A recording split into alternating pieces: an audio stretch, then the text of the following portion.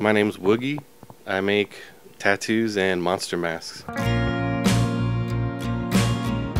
I've been tattooing for around seven years or so and making masks for like a year. I wanted some masks that I couldn't afford basically and I was like, man, I, I could probably make them myself. So I did. I took a sculpting class in college and it was, you know, pretty lame.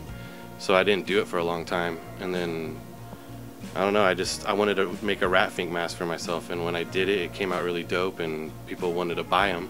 So I figured, hey, maybe I should keep going, keep doing more. It's a lot of work, it's a lot of hard work, and I learned everything off YouTube.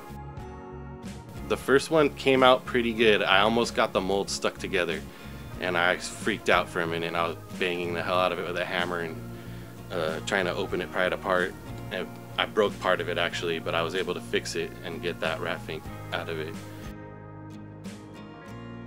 I just finished this Phantom of the Opera, uh, and I'm working on a kind of like a Crypt Keeper. That's my next one. I want to do more original pieces too, and more of my own characters, like the Frankenstein, because the Frankenstein's kind of my own thing. Even though it is a Frankenstein, it's my own design, you know.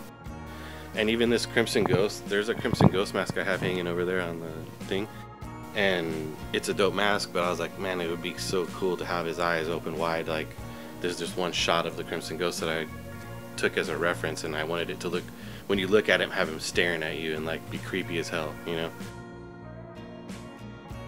Mask rot over time, so these things are like, they're not gonna be around for a long time. You know what I mean? Which is cool and bad at the same time they're they're gonna die. You know what I mean?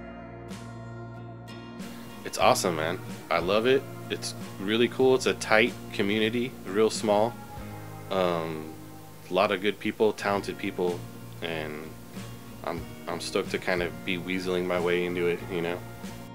Yeah, I've drawn since I was seven. My grandma forced me to draw everything in the house. She's like, draw that, draw that. So I was drawing since I was a kid, and then I went to art school as well went to Art Institute and got in debt. That's what is cool about this is people actually want to buy them. You know what I mean? I've done paintings and all that. I've done a lot of different kind of styles of art. But this is the first thing where like people are like, dude, can I get one of those? And people are hitting me up when I don't even have any, and I'm like freaking out, like, oh man, I gotta make a bunch more of these, you know? That's what I'm trying to do, is just stuff that I think is cool. Because if you if you do that, I feel like a lot of people will have the same style, like like the same things that you do. You know, so just do what you like, do what you love, and other people will respond to it. You know, when a door opens, you gotta step through it.